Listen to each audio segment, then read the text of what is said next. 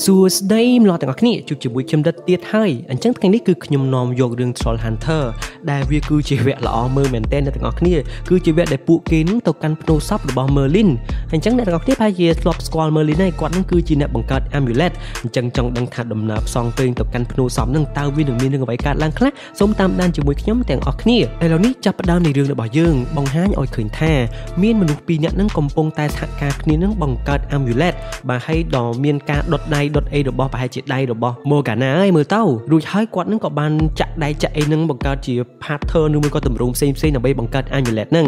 រួចហើយពេលនេះយើងកាត់មកដល់ពេលបច្ចុប្បន្នកាលវិញគឺនិយាយអំពីជីមរបស់យើងហ្នឹងគាត់ហាក់ដូចជាមានអារម្មណ៍មិនអស់ចិត្តសោះថាតើការយល់សពនឹងការស្មើសម័យរបស់ Clay ហ្នឹងពិតប្រាកដឬអត់ព្រោះគាត់ត្រូវធ្វើការគំតិច amulet របស់គាត់ដើម្បីស្វែងរកឲ្យឃើញនៅផ្លូវទៅកាន់ភ្នូសពរបស់ Merlin ដើម្បីយកអា The Staff of Avalanche ហ្នឹងដែលជាដំបងមានក្របត្បូងពណ៌បៃតងហ្នឹងកុំឲ្យកាន់ម៉ាដណ្ដើមវាបានមុនសោះបើសិនជាកាន់ម៉ាដណ្ដើមវាបាននោះរឿងនឹងវាចាប់ផ្ដើមកាន់តែធំទៅធំទៅហើយអញ្ចឹងរឿងដែលពួកគេត្រូវធ្វើដំបូងនោះគឺទៅជួយអ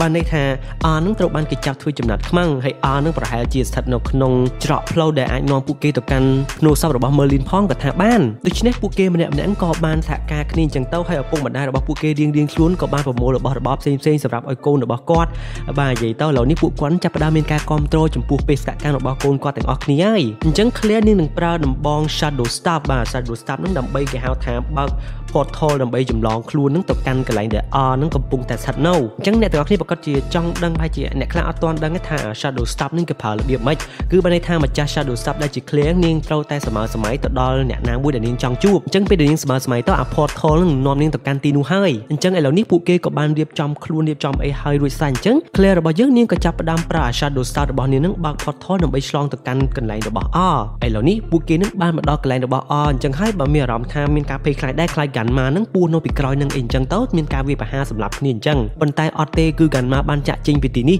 ដើម្បីធ្វើដំណើរទៅកាន់ភ្នូសពរបស់ Merlin ហើយប៉ុន្តែ R របស់យើងវិញបែរជាជាប់អន្ទាក់ហើយអន្ទាក់នេះបានសិតតែក្របបែកបាទអាត្បូងពណ៌បៃតងសិតតែជាក្របបែកតែផ្ទុះទាំងអស់នឹងទៅគឺទាំង R ហើយទាំង Jim Toby ឬមួយក៏ Blinky នៅកន្លែងនឹងទាំងអស់គឺត្រូវបាត់បង់ជីវិតទាំងអស់គ្នាដូច្នេះពួកគេធ្វើយ៉ាងណាទៅតែរករបៀបជួយ R ឲ្យបានហើយមានសុវត្ថិភាពទាំងអស់គ្នាដូចគ្នាចំណែកឯ Ganma រួមជាមួយនឹង Angorot វិញបាទពួកគេនឹងគេហៅថាមានការសោកស្ដាយណាស់ព្រោះឯគេរៀបចំតាក់នឹងចង់ឃើញ Troll Hunter នឹងបាត់បង់ជីវិតប៉ុន្តែដោយសារតែកិច្ចការសំខាន់របស់ពួកគេនឹងគឺមកតាមយកអា Staff of Avalanche នឹងអញ្ចឹងពួកគេក៏បញ្ញាបញ្ញាលមកហើយចំណែកឯតាក់នឹងពួកគេសង្ឃឹមថាប្រហែលជាអាចសម្លាប់ Troll Hunter របស់យើងបានហើយមើលទៅឥឡូវនេះពួកគេទាំងអស់គ្នានឹងបានឡើងមកដល់ច្រកផ្លូវចូលភ្នោះសតរបស់ Merlin ហើយពួក Ganma នឹងពេលដែលមកដល់នឹងអញ្ចឹងទៅឲ្យតែអ្នកណាគេចូលមកដល់ទីនឹងគឺមិនអាចប្រើវេទមន្តបានទេ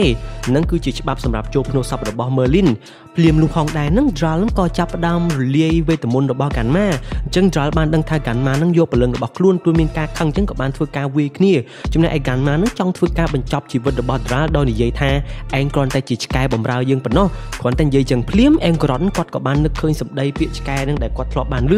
អញ្ចឹងគាត់មានអារម្មណ៍ថាគាត់អាណិត Dral របស់យើងដែរគាត់ក៏បាននិយាយប្រាប់ Ganma ថាកុំសម្លាប់ម្នាក់នេះអីយើងទុកប្រើប្រាស់ទៅក្រែងលោមានប្រយោជន៍នៅពេលក្រោយបន្ទាប់ពីនេះយើងកាត់មកដល់ជីមរបស់យើងវិញឥឡូវនេះពួកគេកំពុងតែរកវិធីយ៉ាងណាដើម្បីជួយឲ្យបានជីមរបស់យើងក៏បានប្រទះឃើញថាកណ្ដុលនឹងគឺចូលទៅផ្នែកខាងក្រោមអញ្ចឹងខ្លួនគិតថាប្រហែលជានៅខាងក្រោមនឹងគឺជាប្រហោងធំមួយហើយដូច្នេះគម្រោងរបស់ពួកគេនឹងគឺឲ្យ to be របស់យើងនឹងប្រើញញួររបស់ខ្លួនធ្វើយ៉ាងណាវាយទម្លុះទៅខាងក្រោមឲ្យបានទៅរួចឲ្យពួកគេត្រូវសហការគ្នាហក់ចូលទៅក្នុងខាងក្រោមនឹងទាំងអស់គ្នាហើយអាក្របបែកនឹងផ្ទុះនៅខាងលើអញ្ចឹងទៅប៉ុន្តែបើសិនតាហ៊ានប្រហែសតែបន្តិចគឺពួកគេនឹងស្លាប់ទាំងអស់តែម្ដងតែដោយគ្មានការរីរាយដោយសារតែចង់ជួយអានឹង to be របស់យើងក៏បានក្លាហានធ្វើការហក់ឡើងទៅលើអារង្វង់នឹងអញ្ចឹងទៅហើយធ្លាក់មកខាងក្រោមវាក៏បណ្ដាលឲ្យថ្មនឹងផ្ទុះធ្លាក់ចុះមកខាងក្រោមដូចគ្នាហើយពួកគេទាំងអស់គ្នាក៏បានហក់ចុះមកខាងក្រោមនឹងជាមួយ R អញ្ចឹងពួកគេហក់ចូលមកខាងក្រោមដោយសុវត្ថិភាពតែម្ដងហើយបាន R នឹងជួយការពារថ្មធំធំអីទៀតអញ្ចឹងទៅឥឡូវនេះពួកគេនឹងសុខសុវត្ថិភាពទាំងអស់គ្នាដូច្នេះបន្តដំណើរទៅមុខទៀតនឹងពួកគេក៏បានឃើញអាប្រដាប់ឆ្លងទីតាំងដ៏លឿនទាំងអស់គ្នាប៉ុន្តែពេលដែលពួកគេឡើងមកដល់លឿននឹងទៅពួកគេឃើញនឹងវងមួយសម្រាប់ដំណើរការម៉ាស៊ីននឹងតែ amulet របស់ Jim បាទវាមានទម្រង់ដូច amulet អញ្ចឹងប៉ុន្តែដាក់ទៅគឺវាអត់ចូលទេ Jim ក៏បានដឹងថាអាដែកជុំវិញនឹងអត់ចូលទេប៉ុន្តែអាថ្មនៅខាងក្នុងដែកនឹងប្រហែលជាដាក់ទៅល្មមនៅកន្លែងដាក់ហ្នឹងណាអញ្ចឹង Jim ក៏បាននិយាយថាការសម័យសម័យរបស់ Clay នឹងពិតជាច្បាស់លាស់មែនហើយខ្ញុំត្រូវតែកំទេច amulet នេះដើម្បីយកអាថ្មនឹងដាក់ដំណើរការទៅកាន់ភ្នូសពរបស់ Merlin ដោយមិនគិតយូរ Jim របស់យើងក៏បានសម្រេចចិត្តក្នុងការប្រើញញួររបស់ Toby ឲ្យកំទេចអា amulet របស់ខ្លួននឹងចោលរួចហើយក៏បានយកអាថ្មនឹង amulet នឹងដាក់ចូលទៅក្នុងប្រហោងនឹងអញ្ចឹងទៅវាក៏ចាប់ផ្ដើមដំណើរណាការហើយពួកគេមិនដឹងថាតើអាប្រដាប់នាំទីតាំងប្រដាប់ធ្វើដំណើរនឹងនាំពួកគេទៅដល់ទីណាទេមានតែពឹងលើព្រំលិខិតហើយបន្ទាប់ពីនោះឥឡូវយើងកាត់មកដល់លោក Sickler វិញបាទគាត់នឹងបន្ទាប់ពីបានដឹងថាគ្រប់គ្នាដឹងពីរឿង Stroll រឿងអីចឹងគាត់ក៏បានមកនិយាយពីប្រវត្តិរបស់ Jim ចឹងអូសរសើរ Jim ក្លាហានហើយសរសើរថាគាត់នឹងធ្លាប់វាយគ្នាជាមួយ Jim អីចឹងទៀតណាបន្ទាប់មកនឹង Barbara នាងខឹងថាកាពេលហ្នឹងអាប៉ែនឹងចង់សម្លាប់កូនរបស់ខ្ញុំណា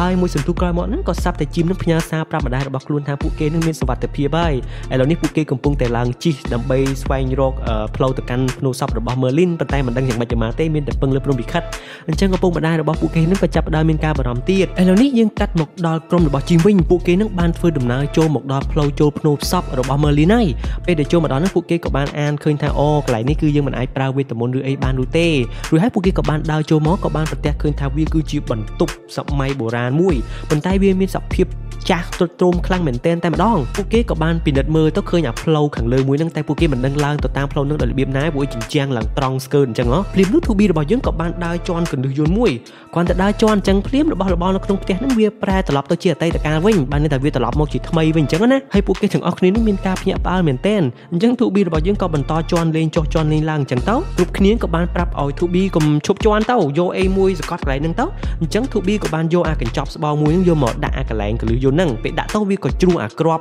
រុក្ខជាតិអីអញ្ចឹងណាតអញ្ចឹង Claire នាងនឹកឃើញរបៀបមួយធ្វើយ៉ាងណាដើម្បីឲ្យឡើងទៅលើអាប្រឡោះប្រហោងនឹងបានអញ្ចឹងនាងក៏បានយកក្របមួយនឹងដាក់ចូលទៅក្នុងថូតោះឲ្យឲ្យ 2B របស់យើងនឹងដកអាកញ្ចប់ស្បោងនឹងចេញទៅកលឺយន្តវានឹងត្រឡប់មកដល់ពេលបច្ចុប្បន្នវិញហើយបើគិតទៅវារាប់រយរាប់ពាន់ឆ្នាំអញ្ចឹងណារួចហើយគាត់ទៅដកចេញភ្លាមអញ្ចឹងទៅក៏សាប់តែរុក្ខជាតិនឹងវាដុះឡើងអញ្ចឹងសម្រាប់ឡើងផ្លូវចូលនឹងអញ្ចឹងទៅពិតជាអស្ចារ្យមែនតើបាទហើយគ្រប់គ្នាមានការភ្ញាក់ផ្អើលនឹងភាពវៃឆ្លាតរបស់ Claire ពេលដែលដើរចូលមកដល់ក្នុងរោងភ្នំបន្តទៀតហ្នឹងពួកគេក៏បានប្រទះឃើញមានការគូគំនូតាក់ទងសង្គ្រាមតាំងពីរាប់រយរាប់ពាន់ឆ្នាំមុនអញ្ចឹងណាប៉ុន្តែវាចម្លែកអ្វីមិនក៏ពួកគេនឹងមានឃើញរូប Claire 2B រួមជាមួយនឹង Jim នឹងនៅលើជញ្ជាំងដែរព្រោះរឿងហ្នឹងវាកើតឡើងអតីតកាលហេតុអីក៏មានរូបពួកគេនៅទីហ្នឹងអញ្ចឹងមួយសន្ទុះក្រោយមក Angorot ក៏បានបង្ហាញខ្លួនហើយពួកគេទាំងអស់គ្នាក៏បានធ្វើការដេញវាយប្រហារនិយាយទៅ Angorot នឹងចង់សម្លាប់ Troll Hunter របស់យើងមែនទែនប៉ុន្តែពេលដែលរត់ចឹងសុកសុកចឹងទៅក៏សាប់តែប្រទះឃើញដៃរបស់ Dral អញ្ចឹងពួកគេក៏បានដឹងថាប្រហែលជានេះជាផ្លូវចូលទៅផ្នែកខាងក្រោមយកអា Staff of Avalanche ហ្នឹងហើយអញ្ចឹងគ្រប់គ្នាក៏បានសហការគ្នាដើម្បីចូលទៅផ្នែកខាងក្រោមហ្នឹងប៉ុន្តែពេល Angorot ហ្នឹងមកមិនទាន់អញ្ចឹងណាតែអាប៉ែហ្នឹងខឹងណាគាត់នឹងចង់សងសឹកខ្លាំងណាស់ប្រហែលជាគាត់នឹងរកវិធីបែបណាកំតិចអាផ្លូវចូលនឹងឲ្យបានហើយឥឡូវនេះយើងឃើញថាគ្នាគ្នារបស់ជីមបានមកដល់ផ្នែកខាងក្រោមហើយបែបចិត្តដល់អាកន្លែងភ្នូសពហ្នឹងហើយមើលទៅ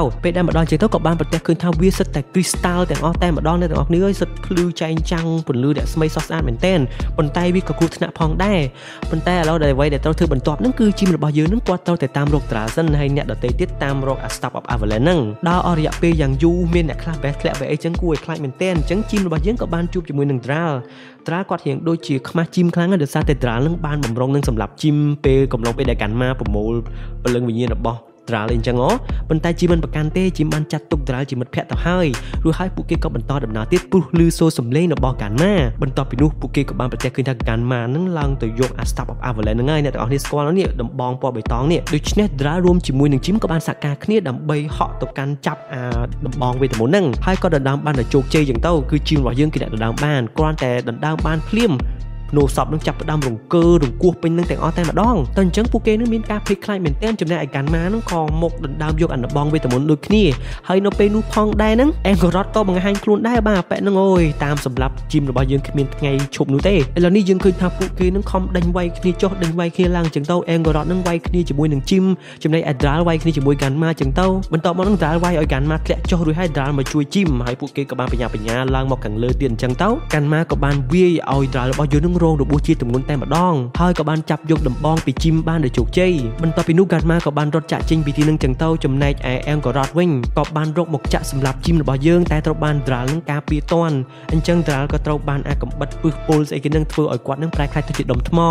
តែគាត់នៅតែជួយជីមរបស់យើងដដែលក្នុងដំណាក់កាលចុងក្រោយនេះដោយគាត់នឹងហក់អោបអេងក៏រត់ហើយធ្លាក់ចុះមកខាងក្រោមដូចគ្នាបន្ទាប់ពីនោះជីមរបស់យើងនឹងគាត់ហូរទឹកភ្នែកគាត់នឹកដ្រាល់អាណិតដ្រាល់មែនទែនតែម្ដងចំណែកឯគ្នាគ្នាដទៃទៀតដែលមានដូចជា R អីនឹងផ្សេងៗហ្នឹងមកក្រោយហ្នឹងពួកគេមកមិនទាន់តែពួកគេក៏បានព្យាយាមជួយជីមដែរឲ្យចាក់ចេញពីទីហ្នឹងចឹងទៅរីឯកាន់មកវិញពេលដែលបានបងវេទមន្តហ្នឹងហើយខ្លួនអត់ព្រមជួយអេងការ៉ាទេក៏បានបញ្ញាបញ្ញារត់ចាក់ចេញពីទីហ្នឹងចឹងទៅរីឯគ្នាគ្នារបស់ជីមវិញកំពុងតែរកផ្លូវចាក់ចេញឥឡូវនេះយើងឃើញថាមានដុំថ្មដុំអីធ្លាក់ពេញនឹងទាំងអស់តែម្ដងមិនដឹងថាពួកគេអាចនឹងរួចផុតមានជីវិតបានឬអត់ទេហើយរឿងរបស់យើងគឺត្រូវចាប់ត្រឹមតែប៉ុណ្ណេះសិនហ៊ីហ៊ីបាទក៏សូមអរគុណដល់គ្នាយើងដែលបានឧបត្ថម្ភដល់ការធ្វើវីដេអូរបស់ខ្ញុំដែលគាត់នៅមានឈ្មោះថា Padeson ហើយក៏អរគុណដល់គ្នាយើងដទៃទៀតផងដែរដែលបានតាមដានវីដេអូនេះពីដើមដល់ចប់តែកុំភ្លេចចុច Subscribe ផងដើម្បីទទួលបានវីដេអូថ្មីៗបន្តទៀតដូច្នេះខ្ញុំរិទ្ធសូមអរគុណសូមជម្រាបលា